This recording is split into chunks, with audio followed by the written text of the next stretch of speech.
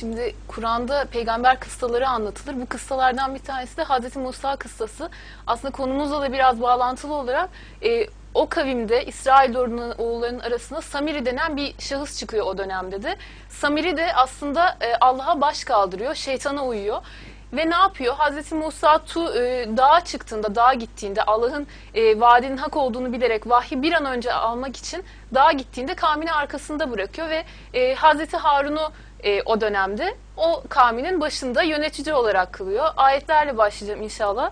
Ayetlerde şöyle geçiyor. Taha suresi 83-84'te şeytandan Allah'a sığınıyorum. Seni kavminden çar, çar çabuk ayırmaya iten nedir ey Musa? Dedi ki onlar arkamda izim üzerindedirler. Hoşnut kalman için sana gelmekte acele ettim Rabbim diyor maşallah. 85. ayette de şöyle geçiyor. Ancak kavmin başsız ve kontrolsüz kalmasını fırsat bilen Samiri, imanen güçlü olmayan, terkine açık halkı doğru yoldan saptırmıştır. İşte e, 85. ayet şurada başlıyor. Onları fitneye düşürmüştür. Dedi ki biz senden sonra kavmini denemeden fitneden geçirdik. Samiri onları şaşırtıp saptırdı. Kavmin içinde de e, Allah'a boyun eğmiş fakat aklında şüpheleri olan kişiler oluyor. Bu tabii ki hiç makul değil, çok yanlış bir şey. Fakat Hazreti Musa gittiğinde Samiri şeytanın yoluna uyarak işte o kavminden müşrik e, zihniyette olanları ve Allah'a karşı içinde bir inkar hissi olanları hemen kendine çekmeye başlıyor. Onlara çeşitli telkinler vermeye başlıyor. Tabii ki bu samimi iman edenlerin, Allah yolunda kesin olarak kararlı olan müminlerin asla yapmayacağı bir davranış. İşte Allah orada o dönemde samimi iman edenlerle kalplerinde küçücük de az bir şey de olsa şeytana uyma hissi olanların arasını ayırıyor. Sonra daha sonra da Musa peygamber bu durumu öğreniyor ve geri dönüyor. Şöyle söylüyor. Taha suresi 86'da şöyle geçiyor. Bunun üzerine Musa kavmine oldukça kızgın, üzgün olarak döndü. Dedi ki, ey kavmim Rabbiniz size güzel bir vaatte bulunmadı mı? Size verilen söz ya da süre pek uzun mu geldi?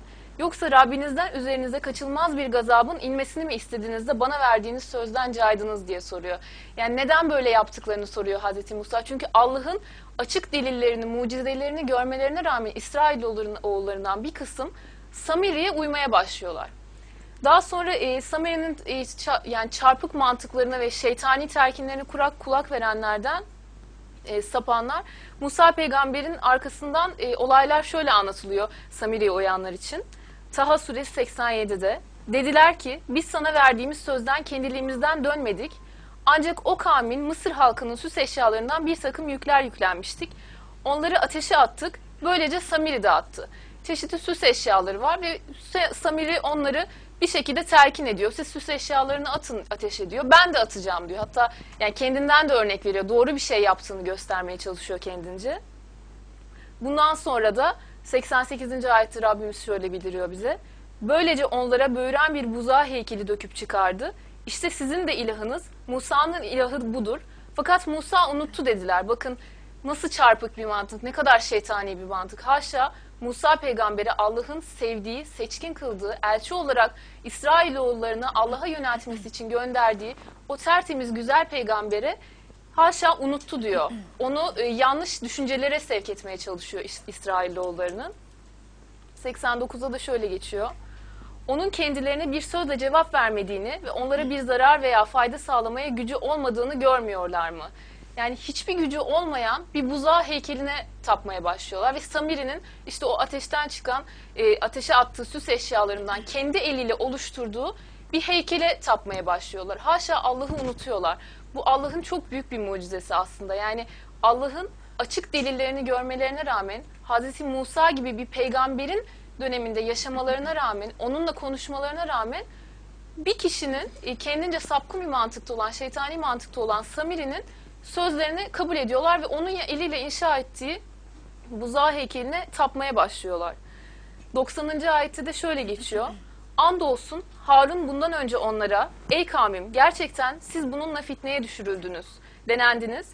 Sizin asıl Rabbiniz Rahman olan Allah'tır. Şu halde bana uyun ve emrime itaat edin demişti. Hazreti Musa dağa gittiğinde Hazreti Harun o dönemde başlandı ve Hazreti Harun da onları uyarıyor. Bakın sizin Rabbiniz Rahman olan Allah'tır diyor. Doğru yola uyun diye onları çağırıyor. Ama onlar kabul etmiyorlar. Musa gelene kadar kabul etmeyeceklerini söylüyorlar. 91. ayette şöyle geçiyor. Demişlerdi ki Musa bize gelin, geli gelinceye kadar ona buzağa karşı bel büküp önünde eğilmekten kesinlikle ayrılmayacağız diyorlar. Gerçekten hemen sapıyorlar. Yani inanılır gibi değil. Normalde Allah'a iman etmiş kişilerin asla yapmayacağı bir şey ki zaten bu kişilerde kalplerinde iman tam olarak oturmamış kişiler. Sonra Hazreti Musa şöyle söylüyor. Ya senin amacın nedir ey Samiri diye Taha suresi 95'te. Samiri de şöyle cevap veriyor peygambere. 96. ayette. Ben onların görmediklerini gördüm ve böylece elçinin izinden bir avuç alıp atıverdim. Böylelikle bana bunu nefsim hoşa giden bir şey gösterdi. İşte şeytan nefsine sürekli vesvese veriyor. Şeytan e, kendi telkinlerini yapıyor Samiri'ye. Onun da nefsine hoşa gidiyor ve daha sonra da işte e, halkını, İsrailoğullarını kandırmaya çalışıyor. Ama işte e, hiçbir şekilde Allah buna izin vermez. Allah iman edenlerin kalplerinde imanı daha da güçlü kılıyor o dönemde. Ve Ali İmran suresinde Allah şöyle bildiriyor 32. ayette. De ki Allah'a ve elçisine itaat edin. Eğer yüz çevirirlerse şüphesiz Allah kafirleri sevmez diye bize söylüyor. Allah'a ve elçisine itaat edenler inşallah sonsuz cennet hayatını, sonsuz Allah'ın rızasını kazanacak mü- müminlerdir. Ama o dönemde işte sapanlar, Allah yolundan caydırmaya çalışanlar da Allah mutlaka onların karşılığını verecektir ve Allah kafirleri sevmez diye Allah ayetinde bildiriyor inşallah.